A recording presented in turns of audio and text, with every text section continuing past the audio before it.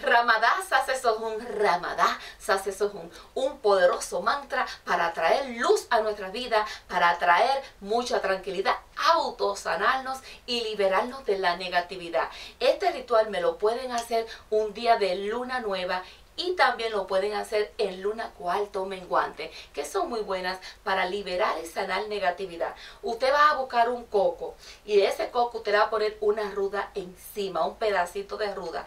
Y durante siete días, un número místico para hacer rituales de liberación, agarrando la ruda y el coco, usted se la va a pasar por todo el cuerpo repitiendo el mantra Ramadasa Sesohun y después usted va al piso y va a hacer tres toques repitiendo el mantra Ramadasa Sesohun. Libero cualquier negatividad que en este momento esté perjudicando mi vida. Que así sea, así será hecho está. Durante siete días usted va a hacer lo mismo. El pedacito de ruda usted lo va a colocar encima del coco y lo va a colocar en un lugar donde nadie le ponga las manos. Y durante siete días usted va a repetir lo mismo, señores. Y esto lo va a hacer con mucha fe. De esa fe que mueve montaña a los siete días usted va a coger este coco y lo va a poner en una olla de agua y con todo y ruta usted lo va a poner a hervir para que se queme, se evapore, se diluya cualquier negatividad y después el coco con el pedacito de ruda